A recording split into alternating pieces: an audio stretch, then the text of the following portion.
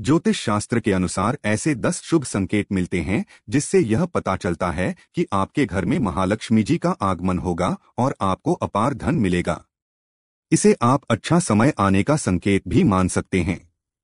एक, पहला संकेत, अचानक से आपके घर में काले रंग की चिंटियाँ आकर वर्तुल बनाकर कुछ खाने लगे तो समझ लेना कि आपके घर में महालक्ष्मी जी का आगमन होने वाला और आपको अपार धन मिलने वाला है। ऐसे में उन चिंटियों को नमस्कार करें और उन्हें शक्कर मिला आटा खिलाएँ। दो, दूसरा संकेत, यदि आपके घर में कोई चिड़िया आकर घोंसला बना ले तो यह बहुत ही शुभ संकेत माना गया है। आप मान लें कि अब आपके घर में महालक्ष्मी का आगमन होने वाला है। तीन, तीसरा संकेत, घर में यदि अचानक तीन छिपकलियाँ एक ही स्थान पर दिखाई दें तो यह बहुत ही शुभ माना जाता है। संपूर्ण जानकारी के लिए चैनल को भी सब्सक्राइब करें और चैनल में दी गई वीडियो को देखें।